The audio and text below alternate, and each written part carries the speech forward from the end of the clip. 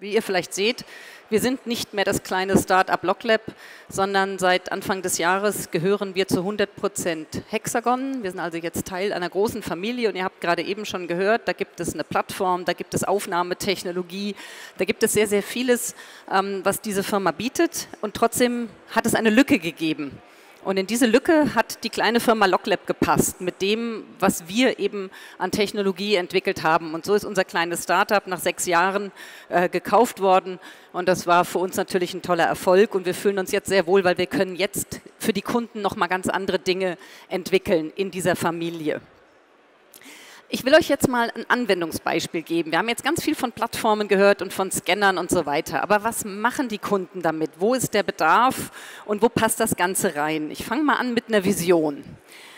Diese freundlichen Kerlchen hier sind Facility Manager. Deren Job ist es, einen großen Anlagenbestand am Laufen zu halten.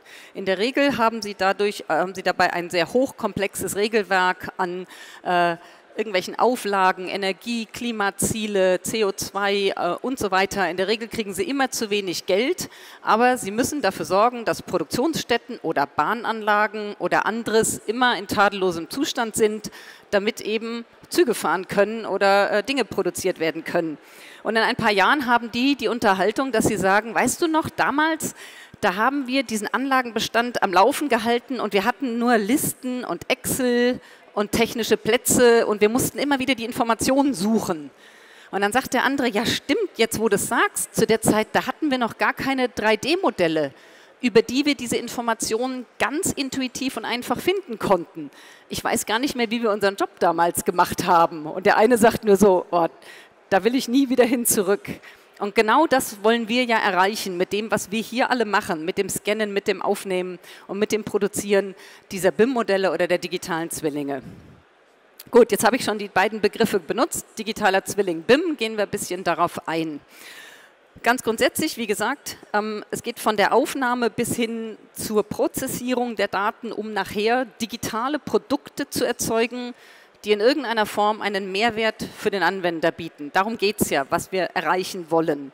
Und diese 3D-Produkte und die Anwendungen sind vielfältig. Und deshalb muss es auch so viele der verschiedenen 3D-Formate geben.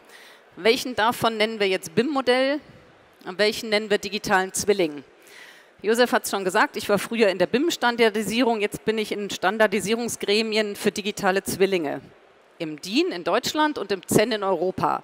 Da sitzen über 30 sogenannte Experten zu diesem Thema. Jetzt raten Sie, was die nicht hinkriegen. Sich auf eine Definition zu einigen, was ist ein digitaler Zwilling? Totales Armutszeugnis, oder? Wir, wir standardisieren etwas, wir reden über etwas, von dem wir es nicht schaffen zu sagen, was es eigentlich ist.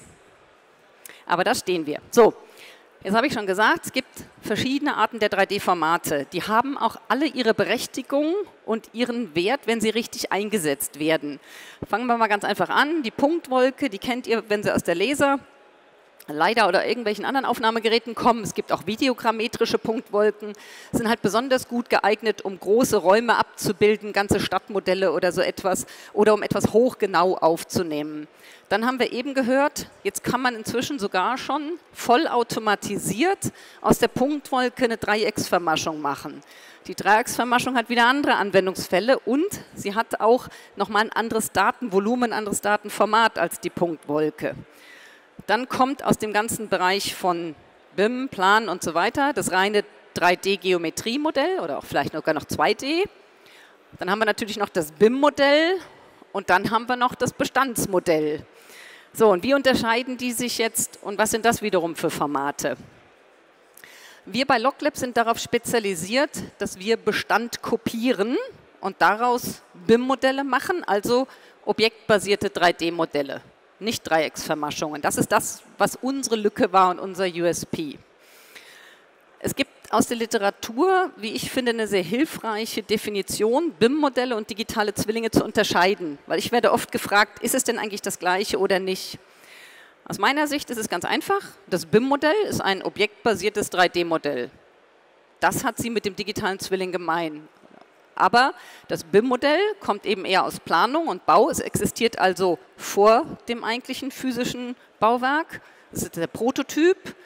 während wir den digitalen Zwilling als Instanz von etwas rückwärts sozusagen generieren, weil das Ding ist ja schon gebaut worden und steht ja schon. Ich finde diese Definition eigentlich sehr hilfreich, die beiden zu unterscheiden. So, und wenn wir also so ein Modell erstellen, jetzt haben wir hier so ein schönes Pumpwerk, so etwas zum Beispiel für den Bereich Facility Management, das braucht man gar nicht mit dem Laserscanner aufzunehmen. Hierfür würde zum Beispiel eine einfache äh, Durchgang mit einer Videokamera reichen. Daraus kann eine videogrammetrische Punktwolke gerechnet werden. Und dann eben, und das ist hier das Wichtige, dann kommt der Objektbezug, also etwas, worauf ich klicken kann. Denn in dem Moment, wo ich ein Objekt habe, kann ich es mit Daten verlinken. Und das ist eben der ganz große Unterschied zu den Dreiecksvermaschungen oder den Punktwolken. Und hier liegt der ganz große Mehrwert der objektbasierten Modellierung, wie ihr es aus BIM auch kennt. So, darüber gehe ich jetzt mal ein bisschen weg. Das kommt später nochmal, dass es eben verschiedene Produkte gibt dann in dem Bereich, die man da liefern kann.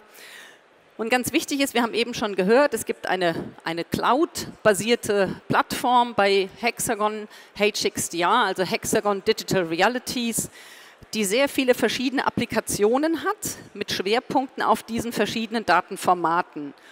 Und wir stellen jetzt mit der LogLab Cloud, powered by HXDR, eine neue Applikation zur Verfügung mit dem Schwerpunkt Asset und Facility Management von solchen BIM-Modellen letztendlich. Und das Ganze basiert auf dem Feedback, was unsere Kunden uns gegeben haben, was sie gerne mit verschiedenen 3D-Modellen machen können im Betrieb. So, und jetzt gucken wir uns mal an, wie sowas aussieht. Und diese Geschichte habe ich mir nicht ausgedacht, sondern das ist wirklich, was unsere Kunden uns erzählen. Wir reden über ein großes Kraftwerk, ein Wasserkraftwerk und dieser Kunde, der Betreiber, hat 135 große Wasserkraftwerke. Sagen wir, in einem um 11.29 Uhr steht eine Turbine still. Es gibt einen Alarm und die Margot, das ist die Leiterin vom Facility Management dieses Kraftwerks, die kriegt also so eine Warnmeldung aufgeploppt in ihrem System, in ihrem Listensystem, was auch immer das ist. Die schreibt einen Arbeitsauftrag denn die haben natürlich einen Auftragnehmer, der solche Aufträge für sie erledigt. Dann geht das an den Ralf, der ist der Leiter von dem Reparaturteam der Firma Schnell und Sauber. Und der hat wieder ein anderes System, der generiert dann also eine Einsatzanweisung und die bekommt der junge Lennart. Und Lennart ist also seit drei Monaten bei der Firma Schnell und Sauber. So. Und dann ist es 11.53 Uhr und die Turbine steht immer noch still und das Kraftwerk macht, produziert keinen Strom. Und der Lennart macht sich auf den Weg. Und dann beginnt das, was wir den täglichen Wahnsinn nennen. Denn der Lennart ist jetzt erst zum zweiten Mal in diesem Kraftwerk und er muss ein Gerät suchen, von dem er die Nummer weiß und was es ist, grundsätzlich. Aber in welchem Raum steht denn das jetzt? Dieses Wasserkraftwerk hat drei Turbinen mit zig technischen Räumen, die jeweils den Turbinen untergeordnet sind. Und der Lennart fängt jetzt erstmal an, den äh, Raum zu suchen, in dem das Gerät stehen könnte. Und bei der Zeit, jetzt schon Viertel nach drei, und er hat den Raum noch nicht mal gefunden. Und dann hat er endlich mal einen Raum, in dem diese Transformatorenkästen sind. Und dann hat er wirklich, jedes Ding hat da diesen Aufkleber mit der Nummer und er geht dann von einem zu anderen und vergleicht die Nummer mit seinem Arbeitsauftrag. Leider stehen die nicht in einer Reihenfolge, sondern die Nummern sind total durcheinander. Jetzt ist es mittlerweile halb fünf und die Turbine steht immer noch still und der Lennart sucht auch noch immer. Und dann nach mehr als vier Stunden hat er endlich das richtige Gerät gefunden, was defekt ist. Und jetzt kann er mit der Arbeit beginnen. Und dann schraubt er den Deckel auf und dann springt eine Feder raus und die rollt weg. Und die ist jetzt für ihn unerreichbar. Und er kommt da nicht mehr ran. Und ohne diese Feder kriegt er den Deckel auch nicht wieder richtig drauf und er kann die Arbeit auch nicht mehr beenden. Und das heißt, jetzt ist es abends um acht und die Turbine steht still und der Lennart muss jetzt zurück, hat Überstunden gemacht, aber die Reparatur ist nicht erfolgt. Ja, und sowas passiert jeden Tag und immer wieder und überall. Und das Schlimme daran ist, diese Suche, die kann nicht persistiert werden, die kann nirgendwo gespeichert werden. Beim nächsten Arbeitsauftrag beginnt die wieder von vorne. Und, ähm, und, und, und alle diese Dinge, die multiplizieren sich auf. Und das ist einfach verlorene Zeit, verlorenes Geld. So, jetzt stellen wir uns mal vor, wir hätten eine Cloud-Plattform, die mit verschiedenen Anwendungen, in denen wichtige Dateninformationen liegen und verwaltet werden, verknüpft ist, sodass wir über ein 3D-Modell Daten ganz einfach finden können. Und jetzt spielen wir den ganzen Kram nochmal durch. 11.29 Uhr, Turbine steht still. Die Maggot kriegt in ihrem System die Fehlermeldung und sie hat dabei schon das 3D-Modell und das kaputte Gerät blinkt. Und sie kann im 3D-Modell, im Echtzeitmodell jetzt navigieren. Sie kann genau sehen, wo das ist.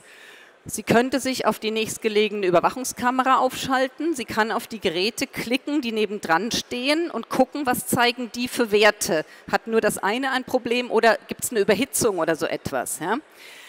Sie gibt dann über die Plattform eine Push-Notification an den Ralf von der Firma Schnell und Sauber und der drückt das weiter als Push-Notification und der Lennart kriegt das auf sein Tablet. Bevor der Lennart sich ins Auto setzt, guckt er erstmal auf dem Tablet, wo muss ich denn hin und was ist denn für, das, für ein Gerät, was ich da reparieren muss. Und er kann sich schon mal über Klicken verschiedene Informationen anzeigen lassen. So, 11.53 Uhr, der Lennart fährt los und dann kommt er am Kraftwerk an. Und wie wir vorhin gehört haben, er war ja noch nie vorher da, er kennt das nicht, stellt sein Auto auf den Parkplatz, nimmt sein Tablet und sagt, so jetzt führ mich zu dem defekten Gerät. Und das Tablet hat eine einfache Indoor-Navigation, der stellt sich da einfach rein und das Ganze sieht aus wie in echt, er kann sich sofort orientieren. Und dann sagt er, okay, da geht es zum Gerät, jetzt geht er aber erstmal kurz noch zum Überwachungsmonitor, schaut mal drauf, auch der ist im virtuellen Modell an Echtzeitdaten verknüpft, also auch die Maggot sieht in ihrer Zentrale genau die gleichen Daten, die der Lennart auch sieht. Und dann sagt er, jetzt führe mich zu dem Gerät. Das Ding blinkt ganz freundlich, er geht direkt dahin und dann vergleicht er nur noch die Nummer und sagt, ja, das stimmt. Jetzt klickt er wieder erst auf seinem Tablet nochmal auf das Gerät, kann sich nochmal Daten anzeigen lassen von Sensoren oder anderen Daten und dann sieht er, da ist ein Ausrufezeichen. Da hat ihm ein älterer Kollege beim letzten Arbeitseinsatz eine Nachricht hinterlassen, nicht ihm, irgendjemand hat gesagt, wer auch immer das Ding das nächste Mal aufschraubt, mir ist damals so eine Feder rausgesprungen. Halt die bloß fest, weil wenn die dir wegrollt, ist das echt ärgerlich. Und der Lennart weiß also genau Bescheid, was er zu tun hat. Der Lennart schraubt den Deckel auf, er hält die Feder fest. Er beendet in kurzer Zeit die Reparatur, er hat das richtige Werkzeug, er weiß genau, was er zu tun hat. Und der Lennart überlegt jetzt, ob er Feierabend machen kann, weil er hat gesehen auf seinem Tablet, dass auf der Dachterrasse jetzt die Sonne ist und dann kann er sich noch ein bisschen in die Sonne legen. Ja, Ganz simple Story. Ein einziger Anwendungsfall multipliziert den nicht nur mit 130 Wasserkraftwerken, sondern mit Anlagenbestand überall. Und guckt mal, wie viele Beschäftigte gehen jeden Tag mit irgendwelchen Papierlisten und vergleichen Nummern mit Anlagen, die sie zu warten haben. Und dann habt ihr euren Business Case für digitale Zwillinge und Cross-Plattform-Integration. Dankeschön.